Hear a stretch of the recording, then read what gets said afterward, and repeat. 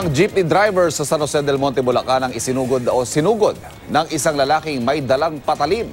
Nagsisisigaw ang lalaki dahil sumabit umano ang jeep sa kanyang kotse. Ilang sandali pa hinampas niya ang side mirror ng jeep at nagbanta umanong papatayin ang driver nito. Tila hindi pa nakontento ang lalaki at may kinukuha sa compartment ng sasakyan. Ang jeep naman, humarurot na palayo. Bukod sa jeepney driver, isa ring bus driver ang tinutukan daw ng patalim ng lalaki. Ang buong storya, mapapanood mamayang gabi sa programang Alisto.